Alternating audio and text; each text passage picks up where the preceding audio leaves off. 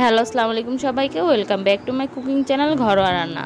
আশা করি আল্লাহর অশেষ রহমতে সবাই অনেক ভালো আছেন। আজ আমি আপনাদের সাথে কোনো রেসিপি শেয়ার করব না। আজ আমি আপনাদের সাথে শেয়ার করব আগার আগার পাউডার সম্পর্কে কিছু তথ্য। কীভাবে এই আগার আগার পাউডার ব্যবহার করতে হয় এবং কতটুকু লিকুইডে কতটুকু আগার আগার পাউডার দিতে হয় এবং এর দাম কত? এই সম্পর্কিত তথ্যই আমি আজকে আপনাদের সাথে শেয়ার করব।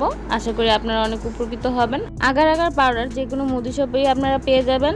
পাউডারটি কেনার আগে প্রথমে এই ডেট দেখে কিনবেন।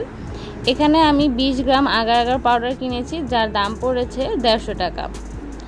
এই আগার আগার পাউডার সম্পর্কিত তথ্য কিন্তু এই আগার আগার পাউডারের বোতলের গায়ে লেখা থাকে। এ তথ্য অনুযায়ী প্রতি এক কাপ পরিমাণ লিকুইডের জন্য দু চা চামচ পরিমাণ আগার আগার পাউডার দিলেই হবে।